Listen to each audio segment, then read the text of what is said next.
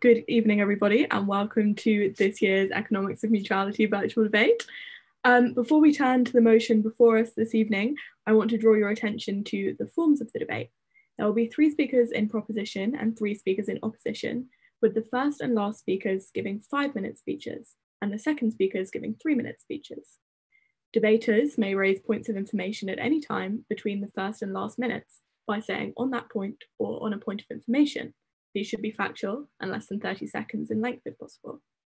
Speakers may choose to accept or to decline points of information.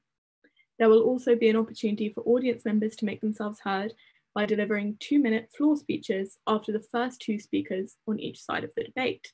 Your attention will be drawn to the opportunity to do this when we get there. Now, before we move to the motion before the House, which is this House believes that within a decade, businesses will be purpose centric or will cease to exist, you have the opportunity to share your initial thoughts on the motion with a poll which should be in front of you.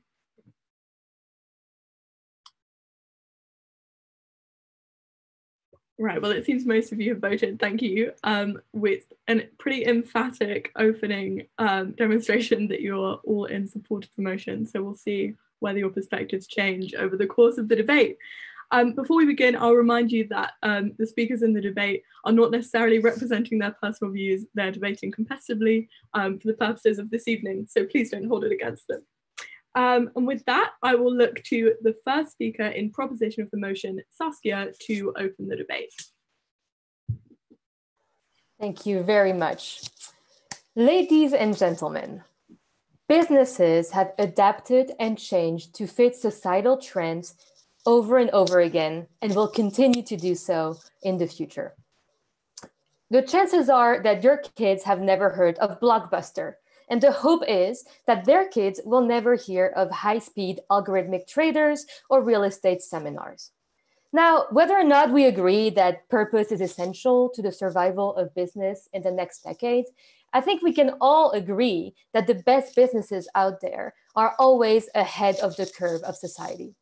And right now, this curve is heading towards purpose and away from cheap goods manufactured for overwhelming profit.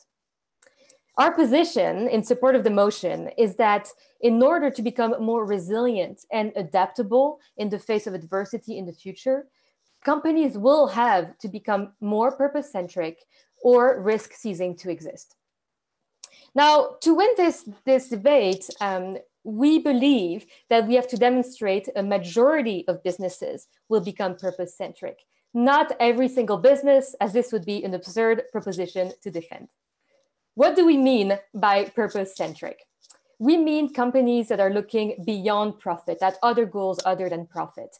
And this, of course, lies on a spectrum. And on one hand, you'll find those companies built on a foundation to tackle a societal challenge or climate change. Then on the other hand, we might find companies that have started in a different way and are now embedding purpose by, for example, creating a community around their business. And all of these are equally valid in our eyes as purpose-centric businesses. And within that spectrum, we'll find Patagonia and Danone who are building livelihoods, sustainable livelihoods at every step of the value chain. And we'll also find companies like Interface who have developed a carbon neutral life cycle for all of their products. Ladies and gentlemen, there's three key reasons why purpose centricity is essential for the future. The first one is very simple. It makes business sense. To just to show you an example, in 2018, Unilever's sustainable living brands, which really have purpose at their core, grew 69% faster than the rest of the Unilever portfolio. In addition to that, they represented three quarters of Unilever's growth that year three quarters. Now, ladies and gentlemen, I'm sure you can see the importance of that. These businesses, or sorry, these brands have created a story and values that co- consumers and stakeholders can resonate with and find authentic. Now, second key point is resilience. It just so happens that purpose uh, actually increases resilience in companies. As a matter of fact, purpose centric businesses have been shown to be up to 30% more innovative than non-purpose centric businesses. And as we all know, innovation is a critical skill moving ahead in the next decade. And finally, I'm going to touch upon shareholders because I'm sure that my opposition team here will touch upon that. As some of you may know, this Sunday is actually the 50th anniversary of the publication of the Milton Friedman Doctrine, which puts shareholder supremacy above all else in business. Now, while the opposition team may pop the champagne on that day, uh, we want to suggest that there's a growing alternative, um, demonstrated actually over the last couple years.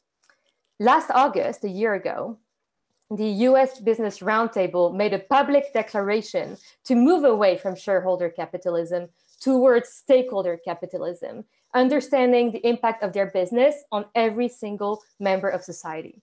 And this past January, the World Economic Forum made stakeholder capitalism the core focus of the entire forum.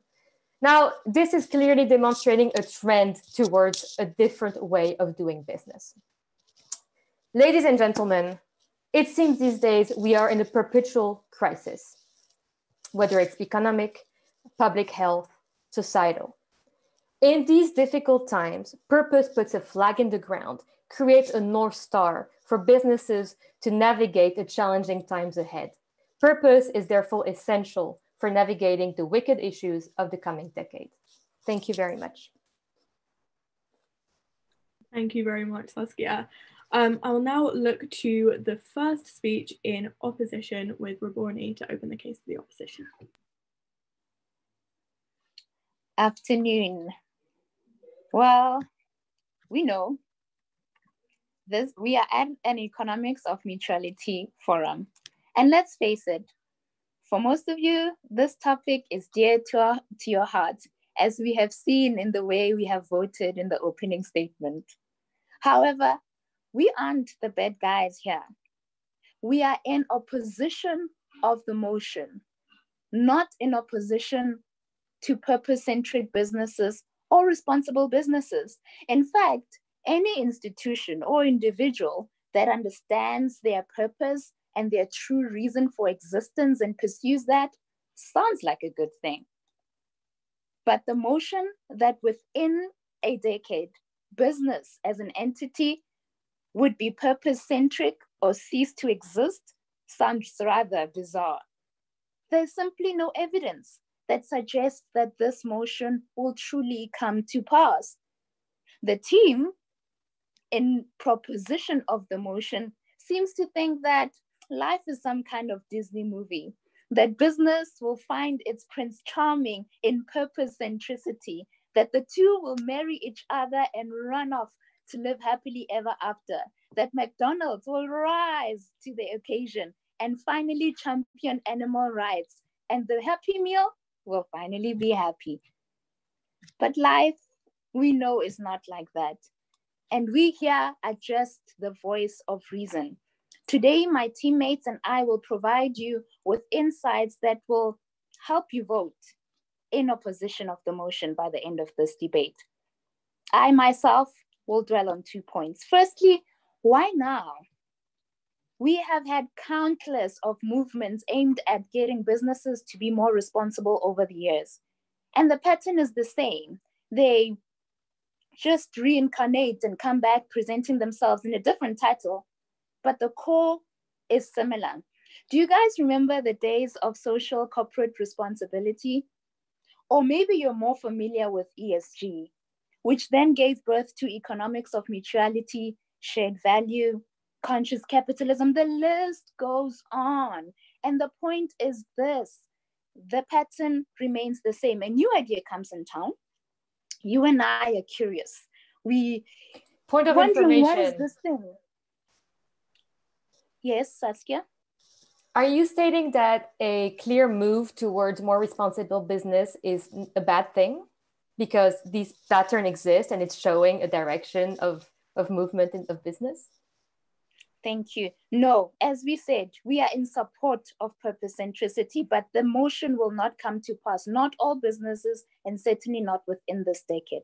As I was saying, trying to explain the pattern is the same. So we get an idea and then we become curious. There's the early adopters that jump in, you know, and as the proposition team have mentioned, big businesses, what you will notice is that the early adopters are usually companies who are already in a well established industry with good margins that are doing well. So when the opposite, when the proposition team states that the top, the purpose-centric businesses do better than the rest of the bunch, it is simply causation, not it's simply correlation, not causation. And once these early adopters come to the party, what do we have? We have case studies, and finally, more and more people join in, but they are met with the same reality that the current market and economic environment were not designed and simply cannot support any form of responsible business. I'll give you an example. You and your office, better yet, your division or the whole company can decide that we are championing this course and becoming more purpose centric. However, once you need to go and present to your shareholders and explain why your margins have dropped, that's a totally different uh, story. These returns are tied to people's pensions. We always say lives matter over profit, and I agree, it should. However, let's take the COVID pandemic as an example. When it first, uh, when the first outbreak hit, governments were quick to say lockdown. Our people's lives are at risk, they all shouted. But soon, as the economic conditions crumbled, they, they all reverted from their stance. And this is not because they are mean or that they do not value the lives of the people, but rather, just like the CEOs and the executives, they were held ransom to the fact that the current economic and market conditions as they stand would not allow them to go on. So today, we are not against purpose centricity. We are not against responsible businesses. However, there is no evidence that the momentum we have achieved thus far will yield in a total transformation within this decade. Thank you. Thank you very much, Ravoni, finishing with perfect time. Um, I will now look to the second speaker in proposition, I believe is Juan, to continue the case for the proposition. Thank you so much. Even though um, capitalism has opened opportunities and created progress at rates that we have never seen before in history, we believe that one of the critical features of the system has been the unequal distribution of the profits within society and the lack of private interest into participating in the collective resolution of social challenges. As a result, I'm, I'm here to say that mistrust against institutions, governments, and businesses has reached historical levels, as the current purpose of the corporation has not only shaped how wealth, profit, and prosperity are distributed, but it also has altered the core functionality of power, representation, and governance in institutions. Mistrust has then contributed to the erosion of popular support for the free market, leading to a continuous loss of the le legitimacy of businesses as individuals are continuously stop believing in the critical role that corporations can play as agents of positive social change. The attitude towards firms becomes then hostile, and the basic fabric in which businesses rely starts to become fragmented. Then, without a shift in the purpose of the corporation, as we are trying to argument in this debate, this behavior, this behavior will continue to be perpetuated in the system and will eventually crumble the foundations on which the modern world is built. In addition, democracy is also altered by the fact that businesses do not ingrain purpose in their uh, strategy. People do not feel uh, represented. They do not feel that they make part of the system. And then they also elect government, um, government leaders that are going to make erratic, going to propose um, erratic policies, and this is going to be harmful for businesses, and the keep is going to, and the loop is going to keep going on. For these reasons, organizations that step up and reimagine their purpose by putting their resources and knowledge to the service of civil society will break up this vicious cycle and protect the system in which they rely on, as we need to take into account that businesses never work in isolation from their environment.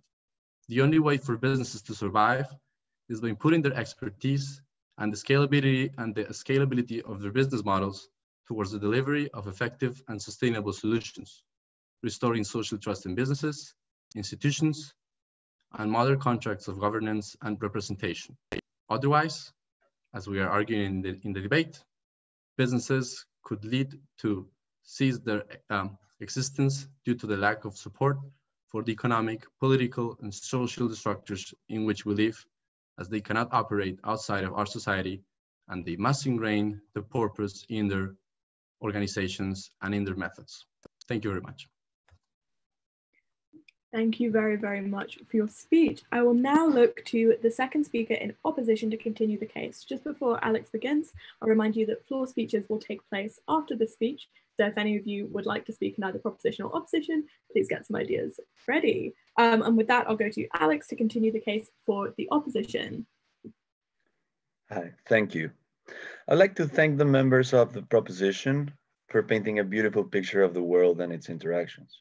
Hope that one day we can all live in that utopian world. In the meantime, I'm here to talk about the real world. I'm here to appeal to your sense of logic and reason and beg you to let it rule over your emotions. Hoping that business will become purpose centric will not make it so. Businesses are expected to blindly repeat the mantra purpose is good for profit. Yet, it's not hard to imagine scenarios where this is not the case. The outcomes of these scenarios are not reasoned through due to naivety or worse, due to false pretense. Let me talk about one of the more common scenarios competitive industries face. It is no secret that to build a credible purpose-centric strategy, a business must plan for the long term and take all their stakeholders into account. When a business takes this long-term position, it is effectively using resources now that will generate profits in, the several, year, in several years to come. This sounds great, except for a little caveat. These decisions will hopefully benefit society and, and the environment, but what, is, what will your competitor's reaction be? What happens if your competition does not share this altruistic view of the world? This is where things start to become messy. If your competitor chooses to use those resources for short-term advantage, your long-term profits will become no-term profits. Let us recall Unilever's actions when Kraft tried to do a hostile takeover. Giving in to the pressure from shareholders, they did a 5 billion share buyback, increased dividends by 20%, and cut costs, resulting in 20% operating profit margin. Not very purpose-centric, if you ask me. Yet, Paul Polman, the, the, CEO then, is not to blame. As he expressed in an interview shortly, we had, we had to make some practical compromises, which I frankly would have not done. Paul's decisions are logical and foreseeable result of the world we live in.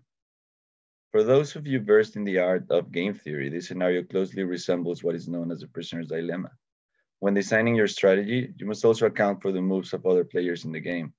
The best risk versus reward position is reached when both businesses choose to compromise with short-termism. These actions are not driven by evil intentions, but rather by human behavior itself. The same behavior which drives consumers to behave a certain way.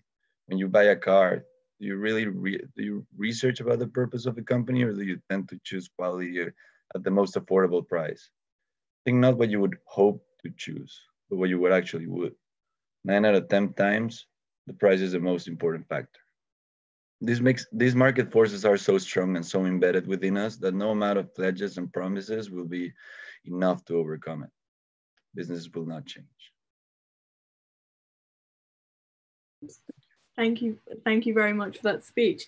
Right, we now have the opportunity to make floor speeches. I'll open the debate up to the floor. If you would like to speak, please raise your hand on the Zoom function and I will promote you to panelist in order to do so. Please allow for any technical difficulties in doing this.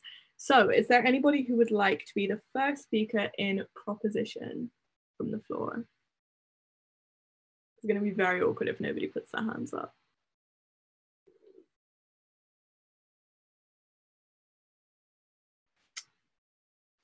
Right, well, there is nobody with a hand up on the Zoom function. I will give you one last chance to do it. If not, we will move straight to the rest of the speakers. Right, well, in that case, we will continue with the speakers from the debate. Um, so I will look towards the final proposition speaker, Peg, for the closing statement in proposition. Thank you for your attention today, ladies and gentlemen. As the final speaker from the proposition, I'd just like to leave you with a powerful quote that has guided me for a long time. And this quote is, nothing is as powerful as an idea whose time has come. Now, the idea whose time has come is purposeful business. It's sad that the only thing is that our opposition has failed to realize it. Let me show you once again why history is on our side. Firstly, our opposition has tried to prove that purpose goes against profit because you can make profits in the short term by going against purpose. True, you can indeed do that, but I would argue that short-term profit isn't profit. It's theft. It's stealing from both our future, our children, and the rest of society. In fact, we have increasingly seen that if businesses want to survive and profit in the long term, they need to care increasingly about non-financial factors such as environment, society, and yes, purpose. We assume that the investments in purpose only pay off in the long term, but the opposition has yet to demonstrate that any such principle exists. In fact, we believe that investments in purpose will pay off immediately in terms of attracting consumers, helping you to define a niche in the market, and simply be more attractive to your consumers and employees. On the other hand, lack of purpose leads to lack of accountability, corporate overreach, bankruptcy. Yes, please. Is your assumption true for every kind of business, or are you solely talking about successful companies that can can implement these changes? I, I believe this is irrelevant because we only need to demonstrate that purpose is a mark is a way for businesses to demonstrate uh, that they can outperform their competitors, whereas you have failed to do the opposite. Anyway, continuing, as I mentioned, lack of purpose leads to lack of accountability and uh, the increasing cycle of ups and downs and disastrous market crashes that has become so commonplace within our modern economy. Second point, the opposition seems to believe that purpose centricity is somehow not a good way to enter a market. Yet they have failed to see that almost every company nowadays, especially the most innovative and exciting ones, have a purpose embedded straight in the heart of what they're trying to do. Look at Uber. Point of information. Nope. Sorry. Please let me continue. Uber's mission is to ignite opportunity by setting the world in motion. Even the fastest growing startup possibly in the world right now, TikTok, has a mission, and their purpose is to inspire creativity and bring joy. And yet, look at the opposition. The opposition is that when companies don't put purpose at the heart of what they're doing, they struggle to attract the consumers and the employees that they need. Let's just look at the example of Philip Morris and other outdated monoliths of the cigarette industry. They are actually the ones who have to pay through the nose in order to get anyone to work for them nowadays, simply because their purpose does not align with society, nor have they succeeded in translating to this new purpose-led economy. Ladies and gentlemen, perhaps the most important thing that I will leave you with today is, yes, we are far away from where we need to be. However, I refuse to accept that we simply need to sit back and accept the way the market is right now simply because it's not where it should be. Purpose needs people. It needs me, it needs you, and it needs everyone in this room. And I know that all of you are with me. Why? Because the Economics and Mutuality Forum this year has 2,000 attendees. It's the largest Economics and Mutuality Forum ever. And all of you, I've spoken to so many of my fellow MBA students this year who have come to Oxford in abandoning lucrative careers in search of purpose.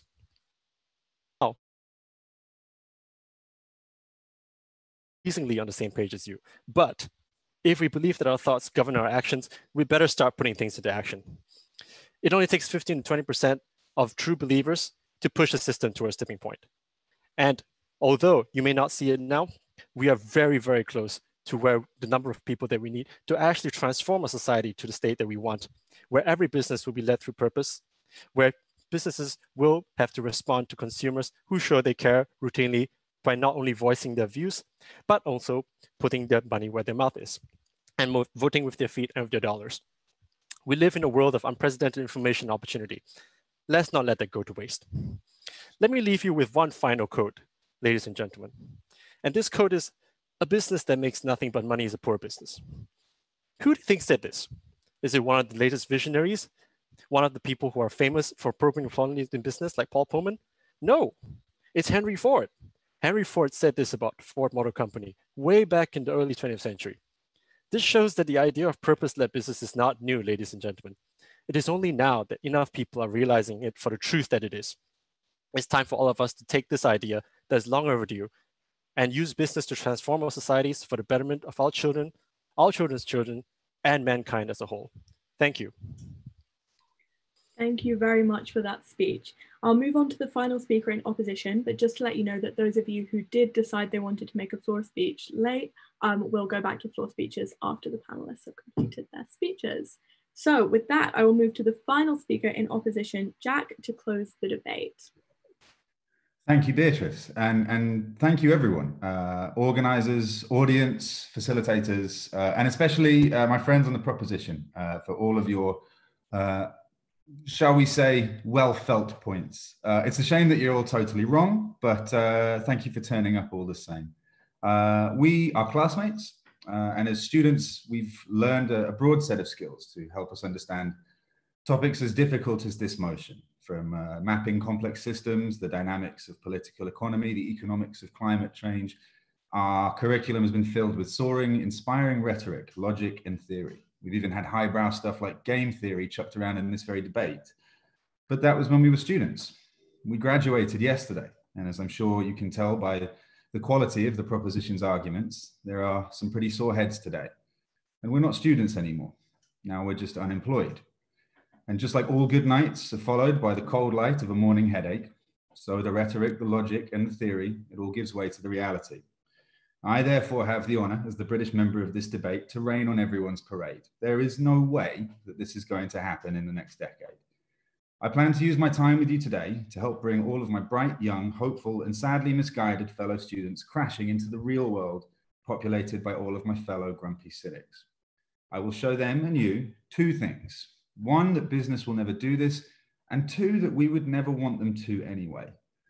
So the first question, will business actually do this? And the proposition have made a number of assertions. I think that we've counted all of them, but just to run through them, uh, we've looked at all of the usual suspects in purpose, the Patagonias, the Danones, the Unilevers. Um, we've talked about everything that they've done, and we've noticed the common thread. It's the luxury of rich companies, really. Um, there have been so many opportunities for the broader business world to do this, and they haven't done.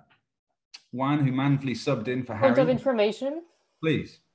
Are you aware that Unilever works intensely with smallholder farmers in sub-Saharan Africa and other developing markets to make their lives better?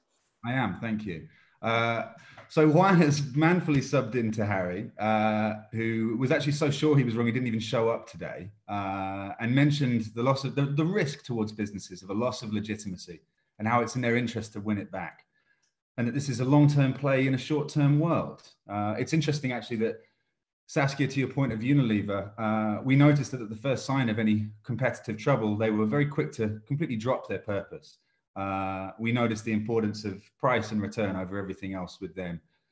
And then finally, Peck did a wonderful job of explaining an idea whose time has come and that profit is a theft from the future. Uh, and I loved his use of Philip Morris to articulate that, uh, because if I couldn't think of a better industry for short termism winning out over long term interest, it's got to be smoking.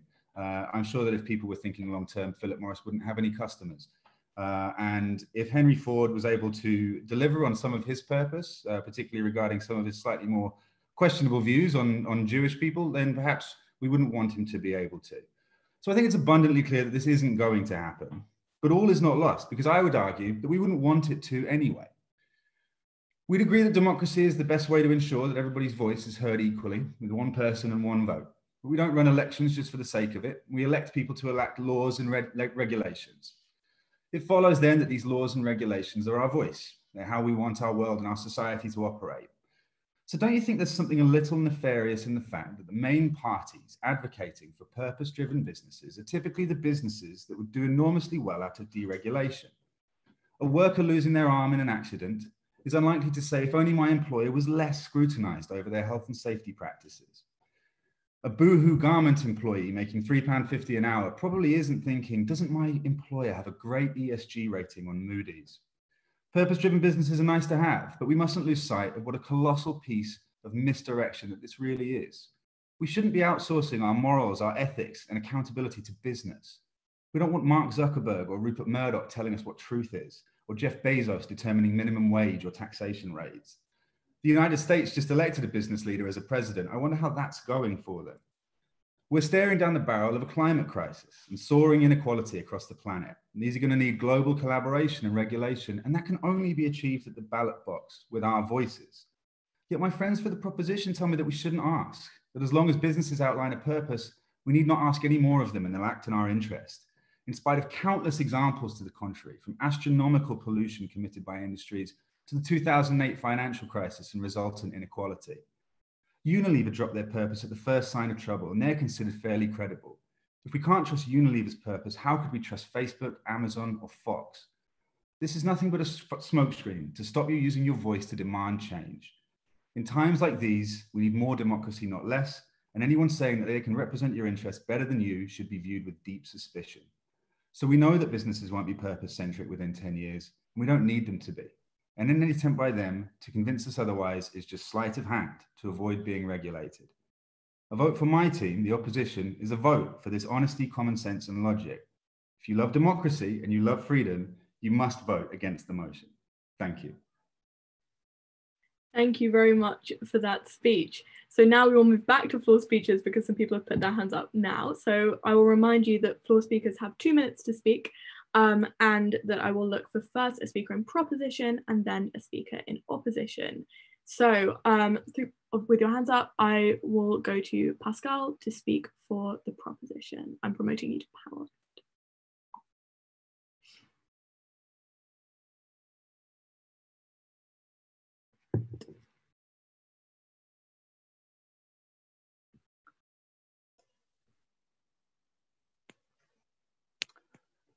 Hello.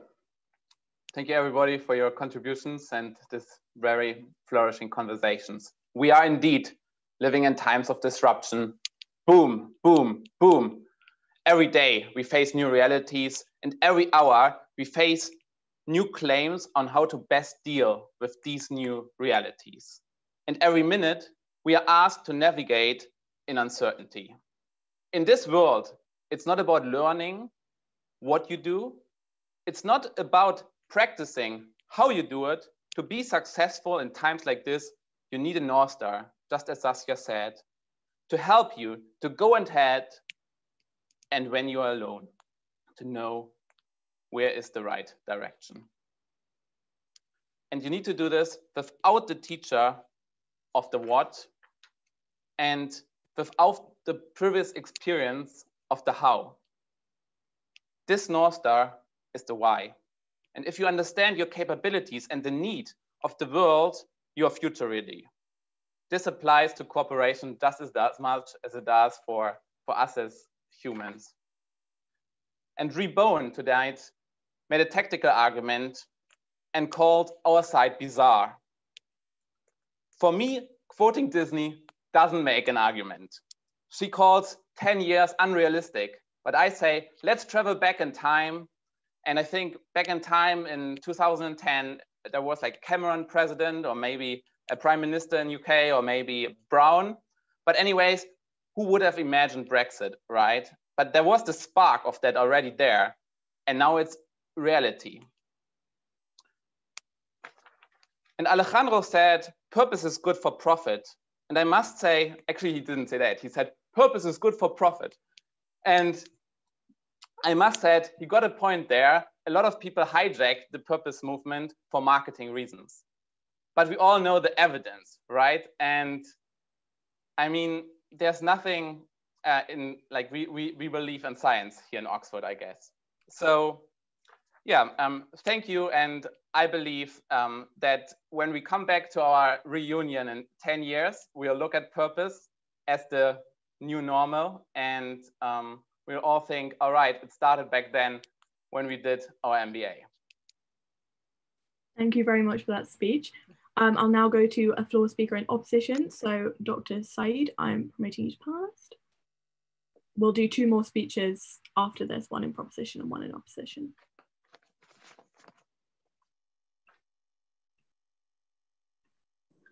Hi, can you see me? Okay, that, that's me.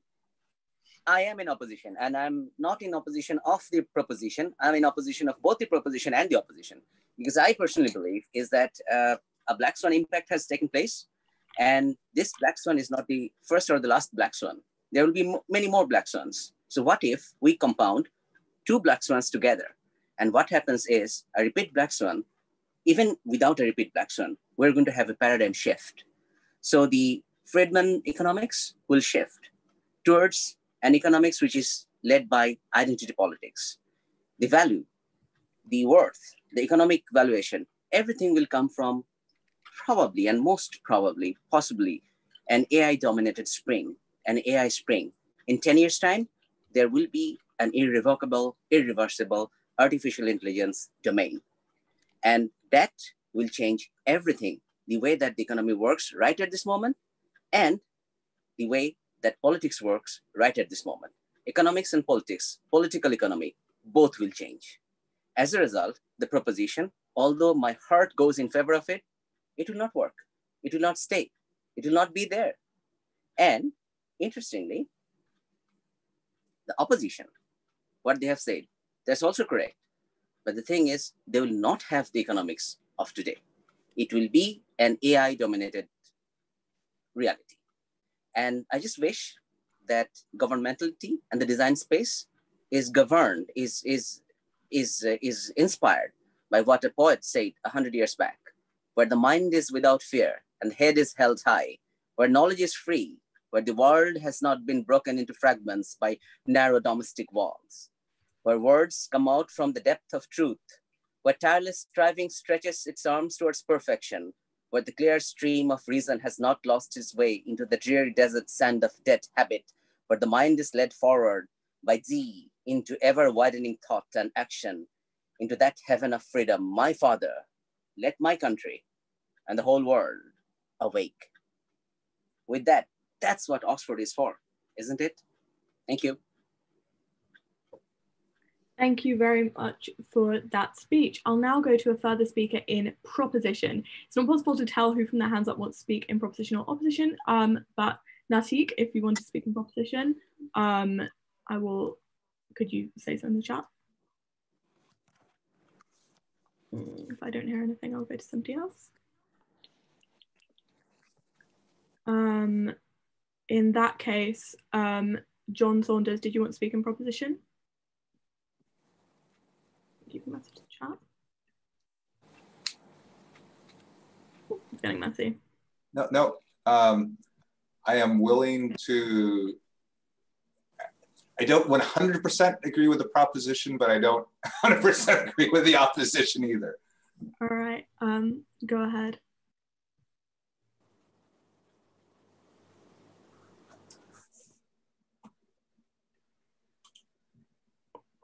So my speech is I don't agree with the opposition in saying by foregoing allocating resources to purpose, you're going to miss out on short-term profits because I think there's an elasticity in what a company can do based on employee engagement and creativity.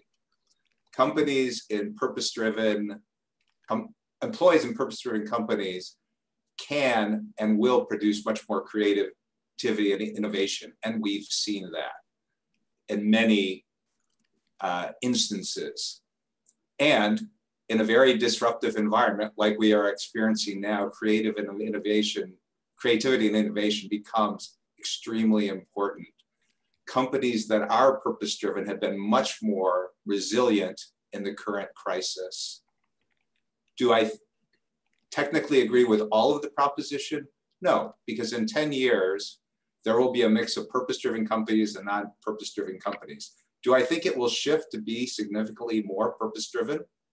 Absolutely.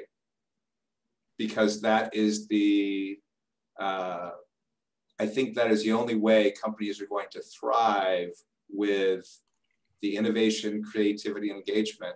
And also, least here in the US, all the figures I see, millennials are uh, comprise 40% of the workforce, and 51% of millennials say what is important to them is the purpose of the company that they work for.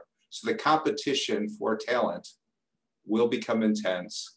The need for innovation and creativity is well established, and that will happen to a much greater degree in a purpose driven company. Thank you.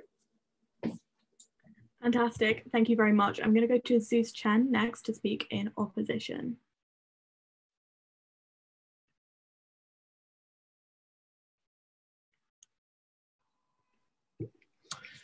Thank you. Standing in front of Saïd Business School, my heart is sincerely for social impact. However, I would like to remind, especially the proposition of our motion, today we are not talking about a purpose versus profit uh, debate. Today we are talking about businesses that are not for profit ceasing to exist in a short time frame of 10 years. Let's start off with a few rebuttals. Uh, while I would like to applaud the optimism and idealism of of the principles that we have learned and has been regurgitated by the proposition. I fully agree with them. However, they have not proven how this will happen within a matter of 10 years. And let's mechanize this a little. How will it actually look like? So within 10 years, how it will actually cease to exist, businesses would be by regulation or the market actually uh, play, kicks and plays them out of the market itself. So let's look at the incentive for the different governments to actually put businesses that are not for profit out of business, essentially. Will they actually be more competitive as a country? What if other countries continue to have a battle in terms of prices? And let's see who actually benefits from cheaper goods. We're not just talking about people who are able, who have the privilege to consciously choose between purpose versus profit, but actually people that cannot afford to, people who actually cannot even afford to put entire meal on the table.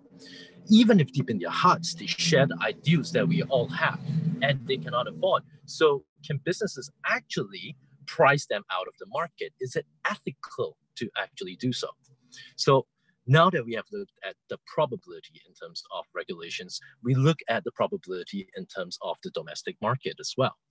So as, as another speaker uh, floor speaker has highlighted, there will always be a mix of businesses that are for profit and for purpose. While we would like our businesses and the businesses that we contribute to to be for purpose, we should not be so myopic as to completely and absolutely exclude all businesses that are there for very basic function of saying providing commodities. So say, take a very minor example especially as the judges are weighing uh, which side actually prevails in this debate.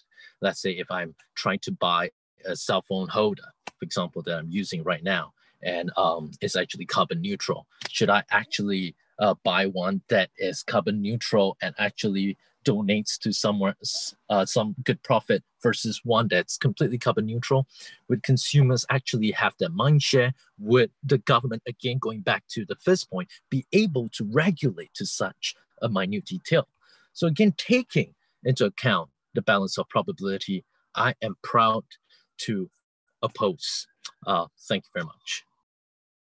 Thank you very much, Zeus. I will now go to Natik to speak in proposition as the final floor speech in proposition. Uh, hello, everyone. Uh, good evening. Uh, I'm Natik Raza uh, from uh, PwC Middle East. I work here in Doha. Uh, so I'm I'm speaking on behalf of the proposition today, and I'd like to point out certain things that the opposition made, and I'd like to first of all appreciate their concerns that the shareholder want certain profits for them to continue and continue to operate, and that's why they put pressure on company boards to operate in a certain way. But what I think the opposition is not understanding is that the why why do they want profits? Because they assign a certain set of utility to the, uh, the to the profits that they make, and that perceived utility in itself is changing as the world changes uh, uh, in this current day and age. So more and more people are now trying to uh, uh, now trying to uh, are able to attain attach higher utility to perceived purpose, perceived to, mm, to the things that they bring to the world. So uh, the relative utility that they assign to profits and the amount of profits that they get out of any assignment is changing. And that's what uh, how the uh, how the, this change that the proposition is suggesting will happen. So uh, instead of looking at it from a perspective of companies responding to shareholders in a certain way, sh we should look at the fact that the shareholders will perceive a different kind of utility set out of the current profits, and they would they would uh, they would require companies to you know uh, give them better sustainable businesses as well as this utility uh, structure changes over time. And a, a, good example of this would be the Black Lives Matter movement that is going on right now. So these are you know millennials and young people who have put their careers at stake for something that does not eventually may uh, uh, affect them directly. It affects another person, but they believe that the benefit of that other person is embedded in their utility curves. And that's why they're demanding the governments all across the globe, not just in the United States, in, uh, in, in, in UK, in Australia, everywhere, all around the globe, to do something about it and make sure, even at the risk of being uh, thrown in jails to, and at the risk of dying at the hand of COVID, to come out in the street to protest something that they want out, uh, something that they want out of the government uh, based on the purpose they believe uh, that they bring to this world. And that is as these million, uh, million and these young people go into the workforce, go into the decision-making uh, uh, seats in the next 10 years, and uh, as they become shareholders of different companies and stakeholders of different companies, uh, requesting those profits or whatever perceived utility they want out of any venture, this in itself will drastically change how corporates respond to, to their purpose and how, how purpose-centric businesses become very important. And that's that's something that I believe the opposition has not touched on. They they continue to focus on the fact that shareholders will perceive the same amount of profits because they won't assign the any additional utility to purpose and whatnot. But that's changing. As we have seen, people have put down their lives for movement that do not affect them directly. And why? Because they believe in purpose. And that is going to translate into business as well in the next 10 years. And it will change drastically. Thank you very much. And I will go to a final floor speaker in opposition of the motion, which will be Harry. I'm promoting you to panelist. Thank you everyone for that very fruitful debate. I think a previous speaker was correct in bringing up that AI is a key to unlocking this debate. But one of the issues that I feel um, wasn't tackled was the issue of AI and its purpose. I will bring up two main points in my speech in the two minutes that I have. One, AI as representation of algorithmic bias. And second, the role of AI in replacing the job market and um, making, uh, making it so that people are less involved in these processes of large corporations. I want to frame this topic in my, my speech um, with this first quote. There are only two industries, large industries in today's economy, um, that calls the people that use its goods and services as users. Those two industries are nar narcotics and big data. And considering Fortune 500 co companies today, a lot of the huge Fortune 500 com companies are of the tech-based background or big data background. So with that, let's go into my um, arguments. First, AI as algorithmic bias. This is where the question of purpose-driven companies comes in we uh, I'd like to posit that in this in this in this discussion, you'd have to talk about whether AI would be as net utility uh, uh, as positive. You're using that AI um, to do something for purpose, or is it for profit? And we see, at least in my opinion, um, because AI is coded by a human being and it is in their nature to maximize profit, the biases that they um, develop to use these deep learning analytics, um, all that will be based on them. So you can't say that you will eliminate for-profit companies because it's up to the person to develop this AI technology. Lastly, quickly, um, AI as replacing human beings, um, company culture will now be determined by the person who's writing that code. For all these reasons, I am very proud to oppose. Thank you very much for that speech and thank you to all of the floor speakers for taking the opportunity to make a speech. I'm sorry about the slight tech chaos. Um, we will in a moment move towards voting using the poll function um, to express our thoughts on the debate, the speakers and the floor speakers. Um, just to remind you, we've heard from six floor speakers and six debate speakers whose names should be included in the poll, and that the motion before the House this evening was this House believes that within a decade, businesses will be purpose centric or will cease to exist. In a moment, we should be able to hear some music and launch the poll. But until then, I will give you the opportunity to collect your thoughts on the motion.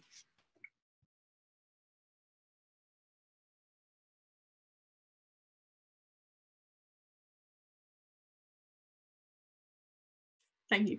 Um, so with that, thank you very much for attending and for voting. The winner of Best Floor Speaker is the first floor speaker, which was Pascal, I believe.